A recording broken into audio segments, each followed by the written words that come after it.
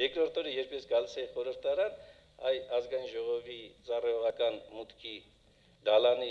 միջով անցնում էին մեր հարգարժան գործընկերները, երեք գործընկերները՝ Հրայր Թովմասյանը, Արմեն Աշոտյանը եւ Դավիթ Սարգսյանը։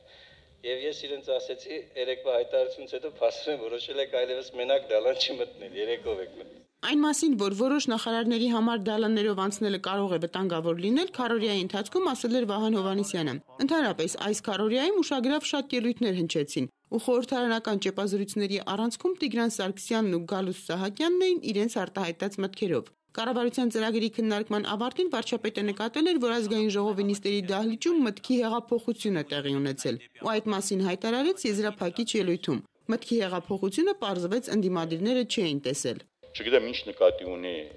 պարոն վարչապետը, երբ ասում եմ մտքի փոփոխություն, տեղափոխություն։ Ռուբեն Հակոբյանը դահլիճում ընդհանրապես լավ քաղաքական քննարկում է տեսել, ոչ ավելին։ Արծվիկ Մինասյանին էլ տեսածը մտքի հեղափոխություն չի հիշեցնում։ Եթե է մտքի հեղափոխությունը եւ այդ ձևով ենք մենք առաջ գնալու, մեզ այդպես հեղափոխություն պետք չէ այն որ parlamentum ընդդիմությունը քննադատում էր հիմնավորված, իշխանությունը պաշտպանվում էր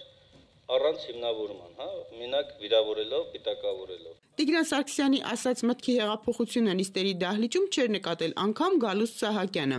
Այսինքն որ անունը հեղափոխություն է, անմիջապես ներազդում դիլներ։ Հեղափոխված թե ոչ, մի կողմ դրած տարիքն ու դիրքը խորհրդարանում Գալուստ Սահակյանը միևնույն է երեկվա ելույթում Զարուհի Փոստանջանին պիտի չվիրավորեր, համոզված է Ռուբեն Հակոբյանը։ Կարծում եմ Գալուստ Սահակյանը պետք է քաջություն ունենա Զարուհի Փոստանջյանից ներողություն խնդրել։ Ես կարող եմ ներել։ Ես ներողամիտ եմ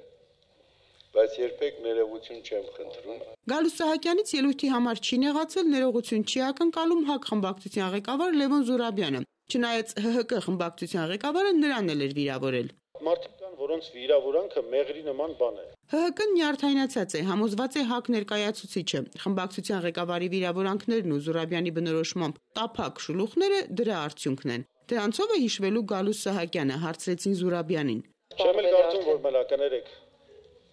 Չեմ կարծում, որ մնա, որովհետև ասենք Չեռնոմիրձինը կար, որը տապակ տապակ շուլուխներ անում էր, բայց դրանց մեջ գոնե ինչ որ իմաստ փայլատակում էր։ Մարիամ Բարսեղյան, Հովանես Քյոսյան, Երկիրն այսօր։